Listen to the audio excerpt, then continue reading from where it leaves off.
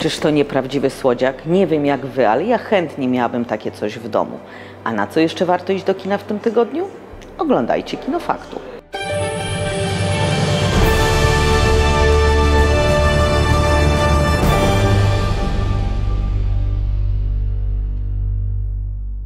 Z wyglądu przypomina trochę wielkiego białego bałwana, taki Michelin, tylko bez oponek. Duszy niby nie ma, bo to wszak robot. Ale tak jak mówiłam Wam ostatnio, podbije serca i małych, i dużych. Baymaxa pokochacie szczerze i na długo. Dlatego nie będę Wam nawet streszczać tej historii. Po prostu bierzcie dzieci pod pachę i marsz do kina. Czyli jakiś obywatel skorzystał z miejskiego Wi-Fi, by zaatakować pana i kolegę balona.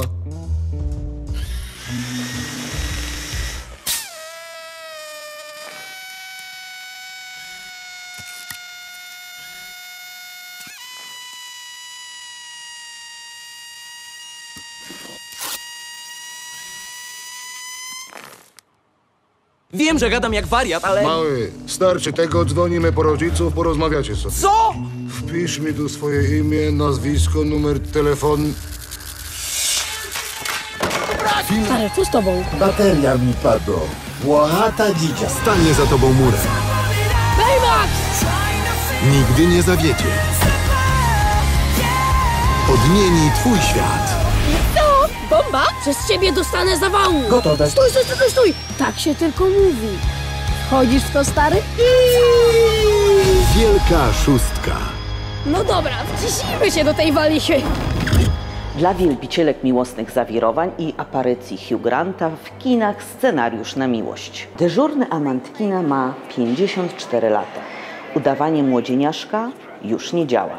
Stąd pomysł twórców, by była to opowieść o drugich szansach i miłości dojrzałych już bohaterów. Przy okazji film reżysera Dwóch tygodni na miłość czy Prosto w serce to także lekka satyra na Hollywood. Hugh Grant wciela się bowiem w postać scenarzysty, który kiedyś przebojem wszedł w świat filmu zdobywając Oscara, ale potem już nic lepszego nie napisał.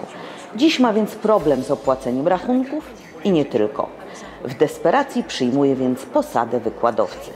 Początkowo nią gardzi, a potem, jak to w takich bajkach bywa, wiadomo. Nie tylko odkrywa w sobie nową pasję i życiowy cel, ale też spotyka piękną, uroczą i mądrą kobietę. Mam wielką słabość do Marisi Tomei i to ona jest dla mnie prawdziwą gwiazdą tego filmu. Zaraz po niej zaś Alison Janney, czyli fantastyczna Margaret Scully z Master of Sex, a także znany Wam z wielu seriali J.K. Simmons. Film obejrzałam bez zachwytu, ale też bez znużenia. Jeśli więc, miłe Panie, nie będziecie miały lepszych propozycji na sobotni wieczór, to spokojnie możecie się wybrać. Pozostając w miłosnym kręgu, ale już nie romantycznie, tylko bardziej dramatycznie, w kinach aż dwa filmy opowiadające o siostrach, które pokochały tego samego mężczyznę. Schiller i siostry oraz Trzy serca. Biorąc pod uwagę marny poziom obu filmów, zakrawa to na jakiś spisek. Austriacko-niemiecko-szwajcarska produkcja ma tę jedną zaletę, że jest filmem kostiumowym. Opowiada historię znakomitego poety Friedricha Schillera, czyli autora słów Ody do radości i dwóch sióstr, które kiedyś przyrzekły sobie, że wszystkim będą się dzielić. Trywializując, myślę, że nie jeden mężczyzna nie miałby nic przeciwko takiemu układowi. A jak sobie z tym radzą kobiety? O tym próbuje traktować film Dominika Grafa. Jak dla mnie nieudolnie. Nie wiem z jakiego powodu jest to tegoroczny niemiecki kandydat do Oscara. Ja mogłabym spokojnie bez tego dzieła się obejść. Belgijsko-francusko-niemiecki film Trzy Serca filmem kostiumowym już nie jest i wypada jeszcze gorzej. W obsadzie dwie sławne córki. Chiara Mastrojani, czyli owoc związku dwóch prawdziwych legend kina, Marcello Mastrojaniego i Katrin Deneuve, która także występuje w filmie, oraz Charlotte Gainsbourg, córka Jane Birkin i Serge'a Gainsbourga. Tym większy żal do reżysera, że mając na planie takie trzy kobiety marnuje ich talent. Bo niestety historia dwóch sióstr zakochanych w tym samym mężczyźnie jest prowadzona w sposób tak niewiarygodny, że to aż boli. Tudzież niezamierzenie śmieszy. Po seansie pocieszające jest jedynie to, że Francuzi też potrafią robić tak złe filmy jak Polskie Zbliżenie. Czy w związku z tym, co ostatnio wyprawia Władimir Putin, Do amerykańskiego kina wróci duch zimnej wojny? Tak można by odczytywać najnowsze dzieło z Piersem Brosnanem w roli głównej November Man. Ale na seans dobrego szpiegowskiego kina nie macie co liczyć. A szkoda, bo Roger Donaldson nie tylko zrobił kiedyś kultowy dla wielu koktajl, ale też bardzo fajny film z czasów zimnej wojny, czyli Bez wyjścia z Kevinem Costnerem i Ginem Hackmanem. Niestety, November Man nie jest niczym innym niż tylko zlepkiem klisz z filmów szpiegowskich. Wszystko to już widzieliśmy i to w lepszym wydaniu. Pierce Brosnan jako podstarzały agent CIA w teorii wymiata nawet lepiej niż James Bond, ale uroku brytyjskiego agenta już nie ma. Strzelaniny i pościgi są niezłe, ale jak dla mnie to nie wystarczy. Może niektórych ruszy bardziej kuso ubrana Olga Kurylenko, ja jednak na seansie mocno się wynudziłam. Szefowie wrogowie pierwszą część widziałam. Nawet się uśmiałam, choć niewiele dziś pamiętam. A to jest dla mnie zawsze najlepszy znak jakości dzieła. Dobre filmy, nawet po jednym razie, pamiętam niemal scena po scenie. Dlatego na drugą część szefowie wrogowie nawet się nie wybierał. Tym razem trójka bohaterów, pozbywszy się wrednych szefów w części pierwszej, postanawia prowadzić własny biznes. I tym razem jednak napotyka na swojej drodze nieżyczliwe siły w postaci inwestora oszusta.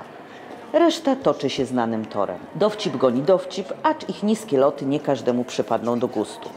W pierwszej części trafnie zostali oddani psychopatyczni szefowie, których i u nas pełno. Nie bójmy się tego powiedzieć. Aż dziw, że nie powstaje o nich więcej filmów. Ale sądząc po strasznie niskich ocenach w Stanach Zjednoczonych, dwójka nie umywa się do jedynki. Choć na ekranie oprócz znajomków z pierwszej części Kevina Spacey i Jennifer Aniston pojawiają się Jamie Foxx, Chris Pine i mój ulubieniec Christoph Waltz. Także decyzję o pójściu do kina zostawiam Wam. Klątwa Jezabel, jak sam tytuł wskazuje, to propozycja dla fanów horroru. I niestety muszę to powiedzieć dziś po raz kolejny.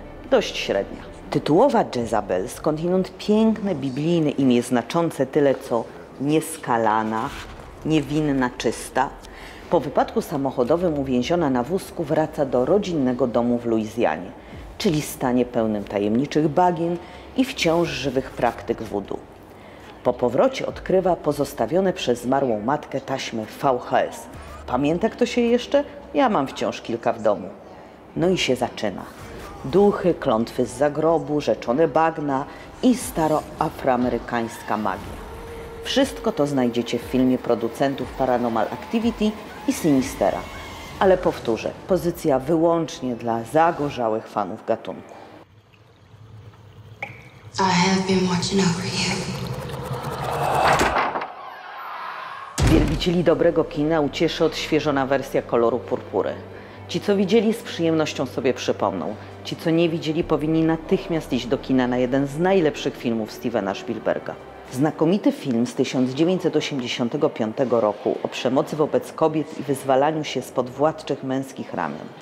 Ekranizacja nagrodzonej Pulitzerem powieści Alice Walker opowiada o ciężkim życiu Cecil, która wpierw przez lata gwałcona przez ojca zostaje żoną, a raczej niewolnicą kolejnego mężczyzny. Mimo to po latach gehenny podnosi głowę i odnajduje godność i spokój. Wielka rola Whoopi Goldberg. Film nominowany do 11 Oscarów, w tym kategorii najlepszy film, przegrał z Pożegnaniem z Afryką. Dlaczego Whoopi Goldberg nie dostała Oscara? Do dziś zostaje to dla mnie zagadką. Niemniej film warty wielokrotnego obejrzenia choćby po to, żeby zobaczyć młodziutką wersję Offry Winfrey, Danny'ego Glovera czy Laurensa Fishberna. Nim się pożegnamy, na koniec chciałabym polecić Waszej uwadze pewien projekt zapalonych debiutantów, którzy zrobili film, ale potrzebują jeszcze odrobiny wsparcia na polakpotrafi.pl, by go skończyć.